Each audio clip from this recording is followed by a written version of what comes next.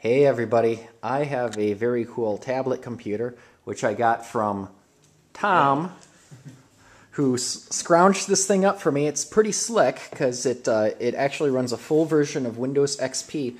Now it does not have a battery with it, but that's okay because we got lots of batteries in the electric car.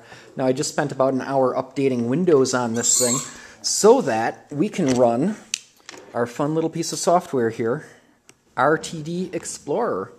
So right now, um, I'm able to make the controller talk to that, and we've got USB connections over here.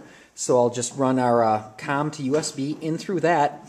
And since this is also a full-blown computer, um, we've got about 27 gigs of space on here to uh, record MP3 audio, and I can take the line out from here, run that into the line in on my car stereo, play whatever we want for music or sound effects, and we can also play a lot of the YouTube videos I've already made and run them right on here, built into the car.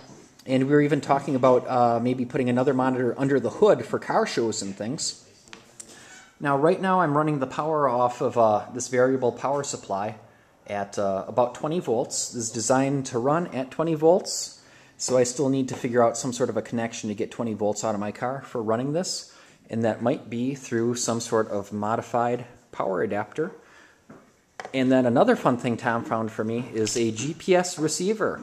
So since this has a time date stamp, and in our software we've got a time date stamp, we might be able to figure out a way to make the two kind of hook up, and then we can have a figure out our car amperage depending on where we are. So this should be a lot of fun to get set up in the car.